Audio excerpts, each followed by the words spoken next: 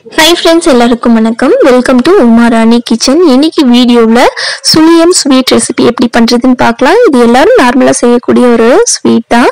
இருந்தாலும் நான் இன்னைக்கு கொஞ்சம் டிஃப்ரெண்ட்டாக எள்ளு வச்சு பண்ண போகிறேன் அது எப்படி பண்ணுறதுன்னு பார்க்கறதுக்கு முன்னாடி நம்மளுடைய சேனல் இன்னும் சப்ஸ்கிரைப் பண்ணாமல் பார்த்துட்ருக்கீங்க அப்படின்னா கீழே ரெட் கலரில் சப்ஸ்கிரைப்னு இருக்கும். அது வந்து கிளிக் பண்ணிக்கோங்க. கூடவே இந்த பெல் ஐக்கானை கிளிக் பண்ணிட்டு ஆளுன்ற ஆப்ஷனை செலக்ட் பண்ணிக்கோங்க. இப்போ வாங்க வீடியோக்குள்ள போய் எள்ளு சுழியம் ரெசிபி எப்படி பண்ணுறதுன்னு பார்க்கலாம்.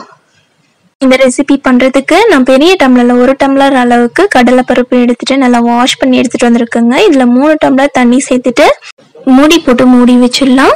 ரெண்டு விசில் வர வரைக்கும் வேகட்டும். இப்போ பாருங்க பருப்பு தண்ணியெல்லாம் வடிகட்டி இந்த மாதிரி எடுத்துகிட்டு வந்தாச்சு. இந்த அளவுக்கு நல்லா வெந்திருக்கு. இப்போ மிக்ஸி ஜாரில் வந்து சேர்த்துக்கலாம்.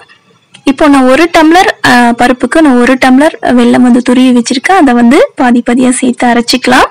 கூடவே ரெண்டு ஏலக்காய் வாசனைக்காக சேர்த்துட்டு அரைச்சிக்கோங்க. நல்லா நைஸாக அரைச்சிக்கோங்க. உங்களுக்கு ஸ்வீட் எவ்வளோ பிடிக்குமோ அதுக்கு தகுந்த மாதிரி வெல்லம் வந்து கூடவோ குறைவோ சேர்த்துக்கோங்க. நான் இன்னைக்கு ஒரு டம்ளர் வெல்லம் மட்டும் சேர்த்துக்கிறேன். ஒரு முடி தேங்காய் துருவி நெய் சேர்த்து நல்லா வறுத்து எடுத்துட்டு வந்திருக்கேன் அதையும் வந்து சேர்த்துக்கலாம். சேர்த்துட்டு நல்லா மிக்ஸ் பண்ணிக்கலாம்.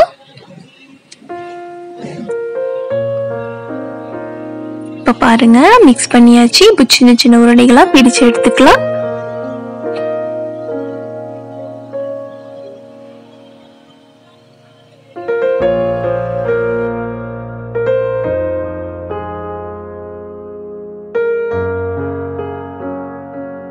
இப்போ பாருங்க எல்லா உருண்டைகளையும் இப்படி பிடிச்சு எடுத்தாச்சு. இப்போ ஒரு மிக்சிங் பவுல் ஒன்று எடுத்துக்கோங்க. அதில் அரை கப் அளவுக்கு மைதா சேர்த்துட்டு இது கூடவே ஒரு டீஸ்பூன் அளவுக்கு கருப்பு எள்ளு சேர்த்துக்கிறேங்க.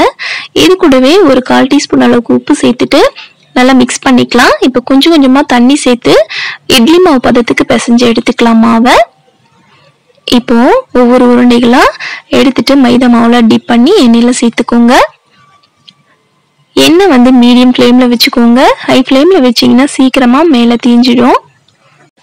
இந்த மாதிரி எள்ளு சேர்த்து செய்யும் பொழுது வாயில கடி போடும் பொழுது அவ்வளோ ஒரு டேஸ்டா இருக்கும். நீங்களும் வந்து ட்ரை பண்ணி பாருங்க.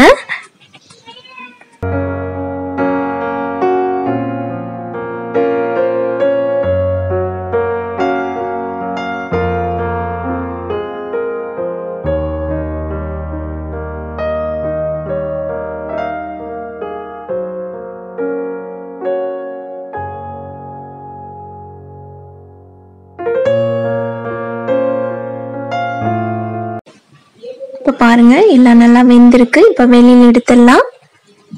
இதே மாதிரி எல்லாத்தையும் சேர்த்து பொறிச்சு எடுத்துக்கோங்க. இப்போ பாருங்க எவ்வளோ சூப்பரான எள்ளு சுழியம் வந்து ரெடி ஆயிடுச்சு. இந்த வீடியோ உங்களுக்கு பிடிச்சிருக்கும்னு நினைக்கிறேன். அப்படி பிடிச்சிருந்தா உமாராணி கிச்சனுக்கு சப்ஸ்கிரைப் பண்ணுங்க. தேங்க்யூ